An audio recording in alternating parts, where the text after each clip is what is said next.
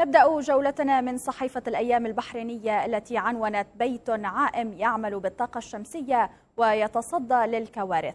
صممت شركة أمريكية بيتا عائما له قدرة كبيرة على مواجهة الكوارث الطبيعية حتى أنه يستطيع الصمود أمام إعصار من الدرجة الرابعة. ويعتمد البيت العائم على الطاقة الشمسية كما أنه مزود بنظام هيدرولي لتفادي الغرق.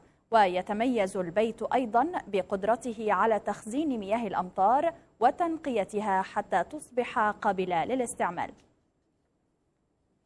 إلى صحيفة اليوم السابع المصرية التي عنونت الصين تخطط لبناء مركز شرطة يعمل بالذكاء الصناعي بدلا من البشر. تعتزم الصين بناء مركز شرطة يعمل بالذكاء الصناعي وليس البشر في مدينة ووهان وسط البلاد.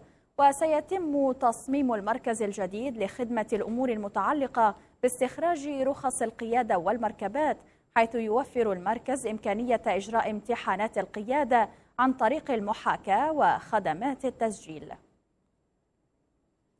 إلى صحيفة النهار اللبنانية التي عنونت شهادة ميلاد أمريكا للبيع أعلنت دار مزادات كريستي نيتها بيع خريطة عمرها 510 أعوام يطلق عليها اسم شهادة ميلاد أمريكا في اعتبارها الخريطة التي أعطت العالم الجديد اسمه بعد اكتشافه.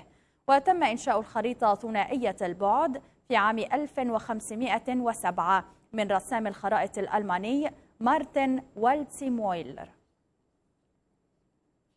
إلى صحيفة البيان الإماراتية التي عنونت علاج سحري يعيد للخلايا البشرية شبابها.